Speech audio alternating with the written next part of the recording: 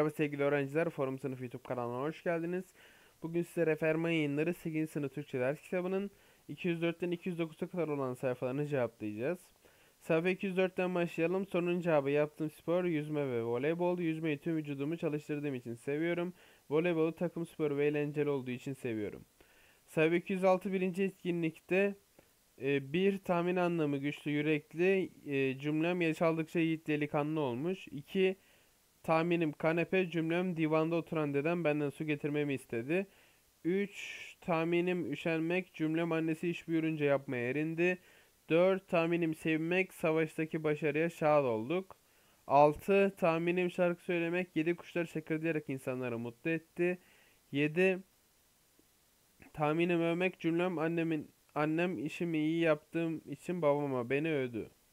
İkinci etkinlikte verinin cevabı şiirde yiğitler koşa benzetilmiştir. 2. Ağırdan yanaşmalarını, kapışmalarını istemektedir. 3. Güreş izlemenin çok heyecan verici olduğu anlatılmak istenmiştir.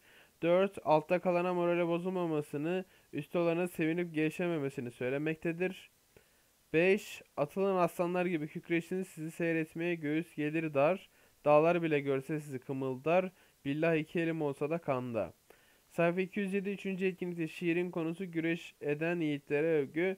Şiirin ana duygusu güreş edenlere duyulan hayranlık ve sevgi.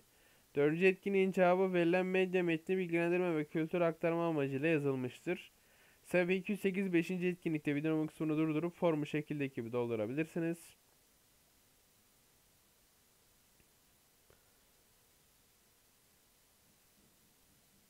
Altıncı etkinlikte videonun sonu durdurup konuşma metnini şekildeki gibi sorunun cevap kısmına yazabilirsiniz.